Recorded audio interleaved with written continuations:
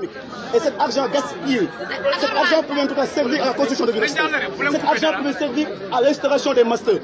On dit non, trop c'est trop, et je vous le dis devant l'autorité, on ne peut plus supporter ça. On ne peut plus, supporter ça.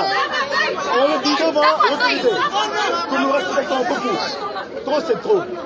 Il faut que le ministre, le ministre Cheikh Maran, qu'il vienne ici à Kafrine, nous recevoir, ou bien que nous nous passions en tout cas à Dakar, nous passons à Dakar pour le voir, pour qu'on puisse discuter sur les problèmes de l'université. Parce que nous, nous, nous sommes en L3, la plupart sont en L3. Aujourd'hui, notre avenir est sacrifié parce qu'ils nous ont dit qu'il n'y a pas de master. Qu'est-ce qu'on va faire? Qu'est-ce qui, Quelle est la personne qui va le rester Trop, encore une fois, c'est trop. Ça en est trop, on ne peut plus. On ne peut plus supporter ça. Ça. Il y a une problématique majeure aussi qui se pose à Bissau.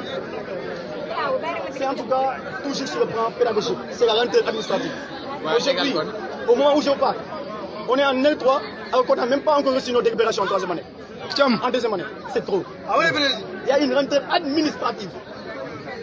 Vraiment, monsieur le gouverneur, monsieur, euh, madame le gouverneur, monsieur le préfet, vous pouvez faire quelque chose pour vos enfants. Contactez l'autorité supérieure, discuter avec eux, parce qu'on ne veut pas en tout cas, parce qu'on ne veut pas faire de, quelque chose de trop avec vous, parce qu'on vous respecte.